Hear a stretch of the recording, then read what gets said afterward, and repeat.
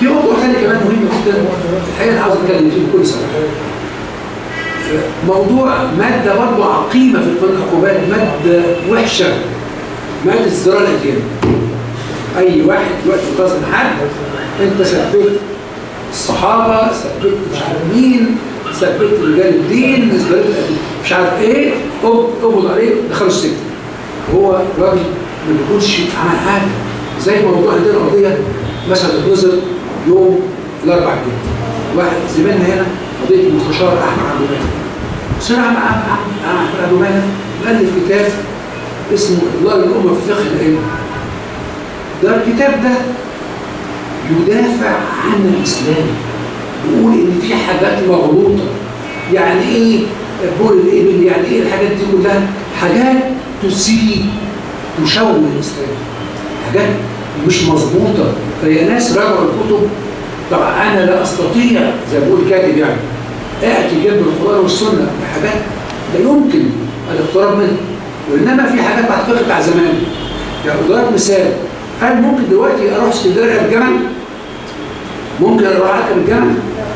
ممكن دلوقتي في حتى مواقيت الصلاة معروفة في بتقول لك القبله من ناحية الشرق كذا بتاع دلوقتي ده حتى الرؤيه في دلوقتي بيطلعوا فيه مناظير وفي قمر صناعي وفي آه الأرصاد وتبين حتى الرؤية إمتى والحاجات دي كلها هنا لكن ما يقدرش أي جنب مثلا إيه؟ الصلاة أو الصوم الحج الحاجات دي كلها ثواب الدينيه ما أقدرش لكن أجي جنب الحاجات اللي هي بتاعت زمان فلان ألف كتاب عمل كذا فلان عمل كذا فلان عمل كذا يعني الحاجات دي كلها ممكن تتراجع زي السيد الرئيس كده. السيد الرئيس قال يا جماعة مش معقول كتب من 1400 سنة ولا 700 سنة ولا 800 سنة دلوقتي زي ما اديت مثال دلوقتي؟ يعني دلوقتي أنا إيه؟ هل معتمد يعني في المواعيد بتاعت الصلاة؟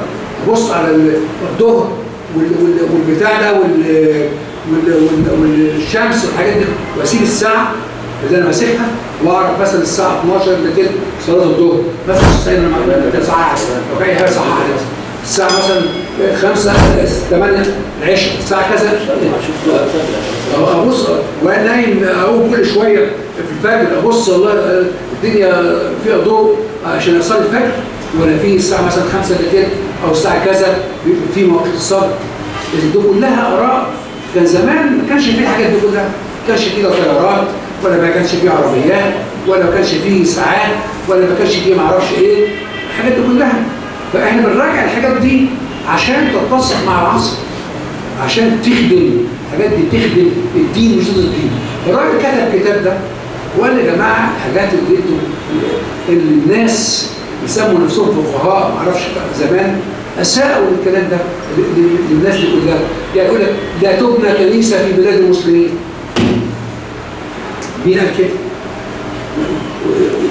زمان قالوا الإسلام لما يفتح دولة أو كده أهو ما تبقاش إذا كانت إذا البلد تتهد تتهد في في حد كده جايز زمان مثلا كانوا في غزوات أو حاجات زي كده.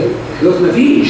دلوقتي لا هو انت صح يا أستاذ سعيد لما كان اليهود كان يعني والنصارى كده يعني فاهم؟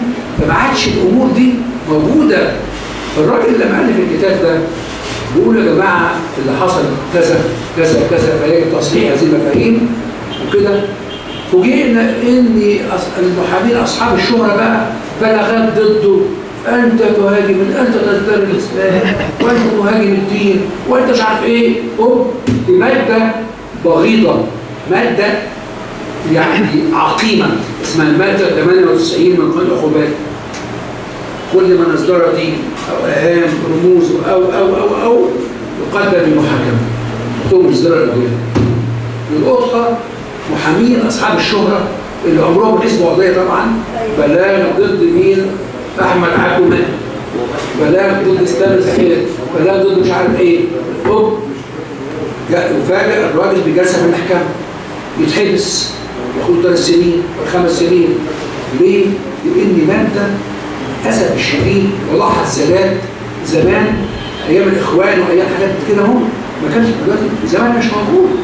فإحنا قوانين لما بنقول إنها حالة طوارئ برضو إن إحنا بنطالب بإلغاء المادة 98 من قانون العقوبات مادة ازدراء الاديان كلنا بنحترم الاديان كلنا متدينين كلنا لكن تحط لي عشان ما ده ضد الراي إذا كان الرئيس نفسه السيسي بيطالب بتجديد خطاب الدين الرئيس السيسي بيقول أنا بحترم كل العقائد حتى اللي ملوش عقيدة اللي ملوش دين ثانوي يعني أنا برضه بحترم ما ما أقدرش أقول لا لأن العلاقة بين الدين بين الانسان وربه لكن واحد يكتب كلمتين أو مقال وقيس على ذلك بصرف النظر عن المادة دي أي حد يكتب يعني رأي أو كده يلاقي نفسه بلاغ من المحامين. و- و- ويفاجئ في النيابة وي- ويتبهدل ويتحبس عشان كده إنها حاله الطوارئ مش المقصود بيها بس إن إحنا نلغي المحاكم العسكرية أو المحاكم عند الدولة طوارئ إنما المقصود بها أن تكون هناك مساحه للرأي وحرية التعبير وحريه المعتقد والحريات بكافة أنواعها طالما ما خرجتش على الخمر طالما أنا لم أسيء إلى دين ولم اسيء إلى دوله ولم اسيء إلى رمز ولم اسيء إلى جيش ولم اسيء إلى شرطة ولم اسيء إلى مؤسسات دينيه إذا أنا حريه التعبير دي م- م- مكفوله للكل. عبر عن رأيي لأن دي الديمقراطية اللي إحنا ودي الديمقراطية